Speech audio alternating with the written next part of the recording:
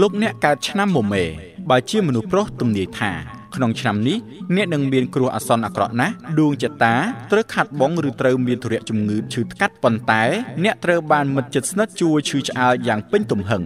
បើអ្នកចង់ធ្វើអ្វី